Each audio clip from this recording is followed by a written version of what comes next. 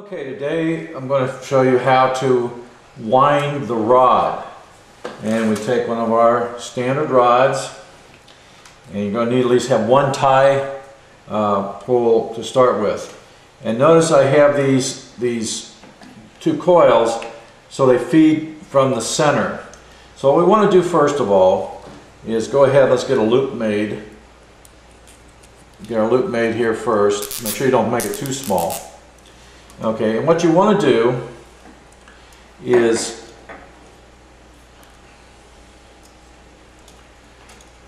run these through here.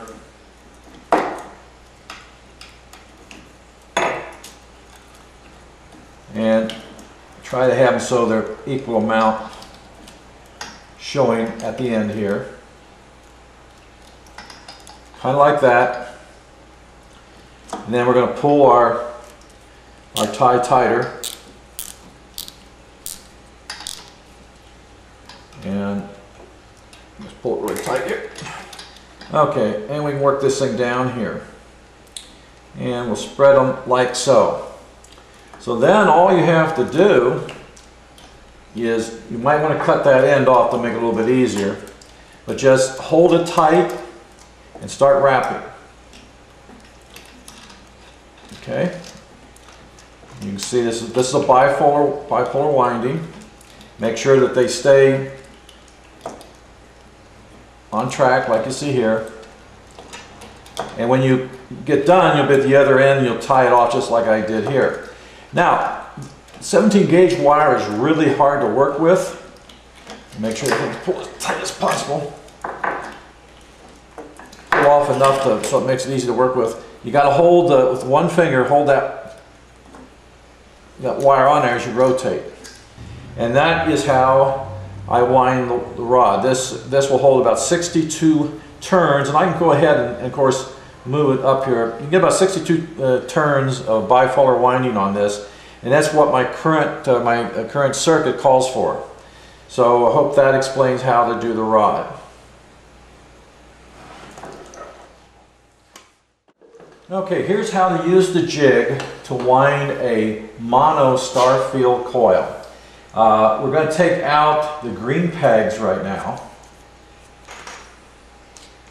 And if you'll notice, I have both green and black lines on the, uh, protractor alignment here. Uh, that really keeps you from having to worry about making any mistakes. Here's how you do it. It's always based on the number five. Go ahead and secure your first wrap on the peg. Then the next turn is always going to be one, two, three, four, five. Then again count one, two, three, four, five. Count again, one, two, three, four, five.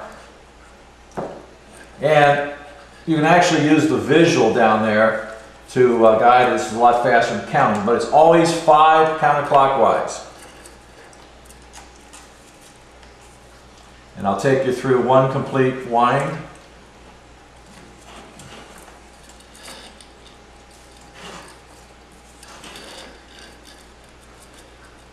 I think it's number 26 wire I'm using here, 28 wire.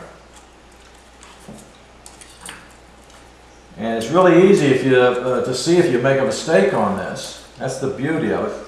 And if you lost count again, I'm on this peg. It's one, two, three, four, five. That's the peg. Because sometimes after you wound a few things on here, it gets a little uh, confusing. So we're on this peg, one, two, three, four, five, and we have completed one turn.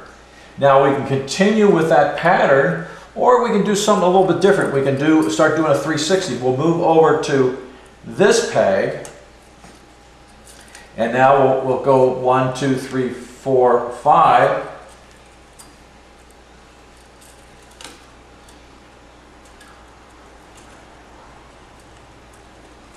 And we'll go one, two, three, four, five.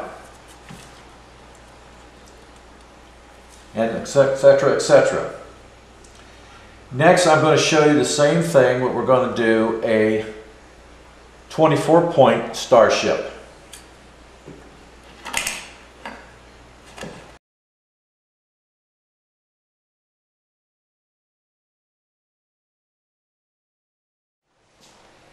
What you see now is doggies.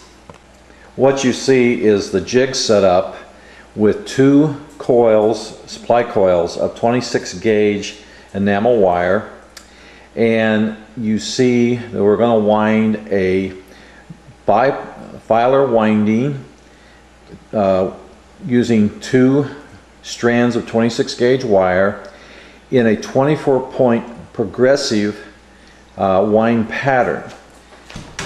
So we have here the index pin, which is very important for this wind, is the index pin. We're going to start with the black pegs first until we make one complete uh, loop. And then we'll switch to the uh, green pins. So let me start here. So this is based on the count of five. Even the Rodin is based on the count of five. So we're going to start with this black pin here.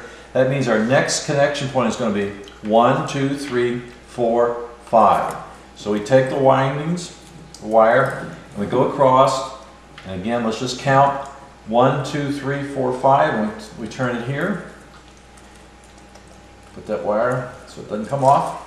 And we're going to count five more pins. One, two, three, four, five. We're going to turn around this. And we're going across to the next one, two, three, four, five, five. And eventually you don't have to count because I have drawn the black lines across the, uh, the thing here. And we're going to go ahead and finish this winding here. Uh, and you can just look across and see where it goes. And this one's going to go to here. And this one's going to go over to here. And this is going to come back to here. And we're going to end up at our starting pin. When we get back to our starting pin where we have the index pin, we now want to move the index pin to the next position.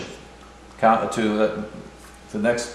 And now we're going to go and wrap the line to the green peg so you'll see we're going to have a straight connection over there. And so in the green is going to be the same idea. Let's get this thing quit scooting on me. We're going to have one, two, three, four, five, etc. But I'm just going to now just follow the green lines on my, my diagram. And we're going to finish this first, uh, the second point. Again, just go over, look where the wire, with, where the green lines are going. And that's going to tell you the wrap, wrapping pattern. And we're now back, I get this on there. We're now back to the starting point of our second point. So it's now time to move this to the next point and we're going to go jump on over to the black. And we'll just now repeat, repeat the, the winding from that over to this one here, etc. I'm going to go ahead and finish this and I'm going to show you the finished wind in about 30 minutes, your coil will be done. Again, this is a 4 inch bifilar 24 progressive point starship coil. Easy, this goes so fast, it is so easy to, to go past that. But it's so, it's so easy to unwind the whole system. So uh, starships are just so easy to work with. Here are the advantages of Starship over the Rodin coil. I made uh, some preliminary tests and showed no difference between their performances, though I would say that our magnetic field for the given number of turns in the Starship is more because you use less wire, so you have less resistance uh, in the coil. Uh, another advantage is you need no coil form, all you need is a jig. So this could be made 100 foot in diameter, 1,000 foot in diameter, whatever you need. And uh, another advantage is it takes no more time to run a, a wind on one uh, uh, winding uh, starship over a, say, a quad winding one. And so uh, the next step here, we're going to bundle the cores with the tie-up pulls